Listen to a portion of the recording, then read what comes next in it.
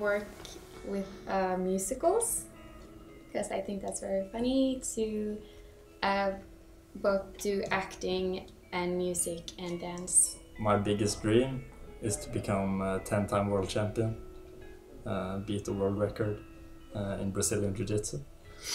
Uh, but also, my dreams are to open my own gym and uh, start a family. That's very important for me. To be happy, I guess. Um, and I think um, like how to be happy is being grateful for what you have. I, I want to start a family and To have a good job. To be a policeman. Travel. Work in fashion industry, I think. Maybe my biggest dream is to enjoy the present.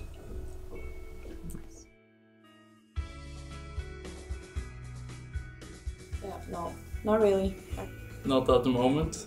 I will find a way. Go out of my comfort zone. Dreams are step by step. My dream is uh, that when I'm 90, I can look, look back on my life and think, yeah, I I had a nice life. And be thankful